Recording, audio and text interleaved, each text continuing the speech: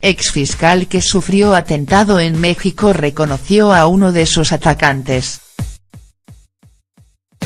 El actual secretario del Trabajo y exfiscal del Occidental Estado Mexicano de Jalisco, Luis Carlos Nájera Gutiérrez de Velasco, dice que logró identificar a uno de los hombres armados que este lunes por la noche trataron de asesinarlo mientras salía en un restaurante ubicado en el centro de Guadalajara. En su intento oyeron a siete personas cuatro civiles y tres policías.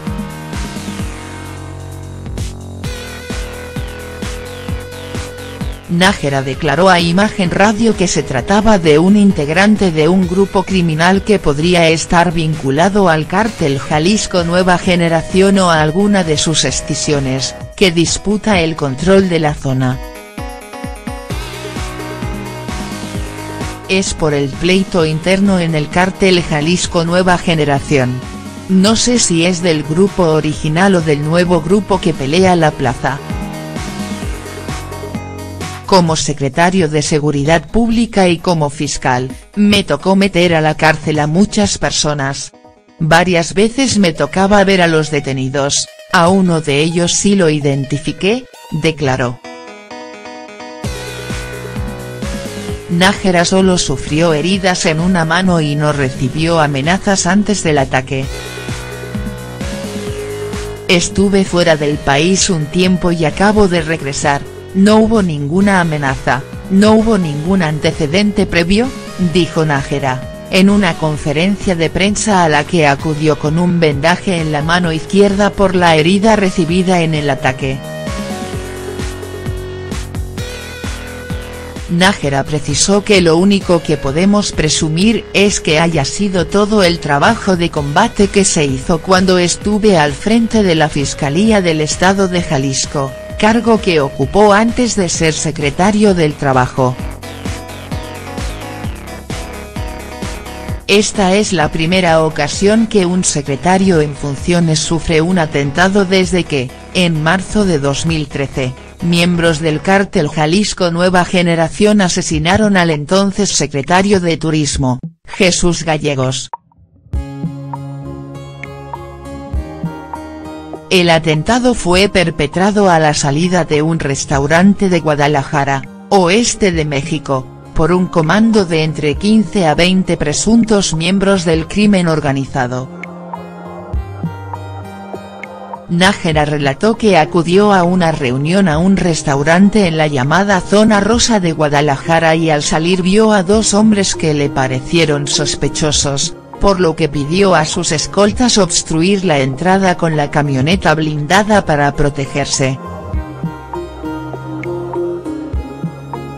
Confirmó que los guardaespaldas junto con dos policías estatales que estaban cerca del sitio, resistieron el ataque armado que ocasionó siete heridos, cuatro civiles y tres escoltas, uno de ellos en estado grave. El gobernador de Jalisco, Aristóteles Sandoval, confirmó la captura de seis sospechosos en poder de un cuantioso arsenal. Los detenidos aseguraron pertenecer al cártel Jalisco Nueva Generación grupo de narcotráfico que el gobernador describió como el más peligroso y que prevalece en esta y 20 entidades del país. El martes, poco antes del mediodía, la Fiscalía General de Jalisco confirmó la muerte de uno de los detenidos. Se trata de un sujeto de nombre Pedro Antonio, quien, según el informe de las autoridades, sufrió un infarto y murió cuando era trasladado al Hospital Civil de Guadalajara. otros nueve heridos por quema de vehículos durante el operativo de búsqueda de los responsables del ataque, hubo quemas de vehículos en distintos puntos de la ciudad que las autoridades atribuyen a grupos criminales y que causaron heridas a nueve personas, entre ellos, un menos de edad. Se presume que estos hechos obedecen a una reacción de la delincuencia organizada debido al operativo que desencadenó el hecho violento del día de hoy, aseguró el gobernador. Sandoval descartó declarar alerta máxima o código rojo en la entidad, pero pidió a los titulares de las dependencias estatales estar alerta ante posibles reacciones de la delincuencia. Refirió que mantendrá la postura de no negociar, no dialogar con delincuentes y no doblar los brazos, ni dejar de hacerle frente al crimen organizado. ¿Quién es Luis Carlos Nájera?. Luis Carlos Nájera tiene una larga trayectoria dentro del gobierno del estado de Jalisco.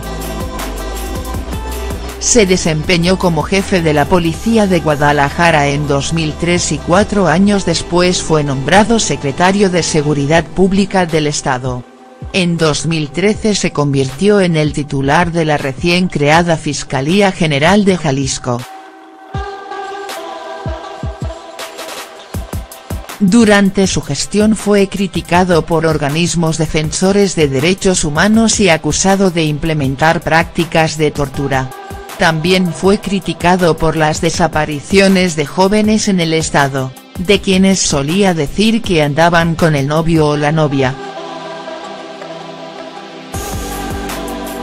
Tras las críticas, fue destituido del cargo en 2015 y sustituido por Eduardo Almaguer quien tiempo después informó que cuando Nájera estaba a cargo se registraron 2,906 personas desaparecidas, pero ninguna fue clasificada como desaparición forzada, aunque muchos casos habían sido denunciados así.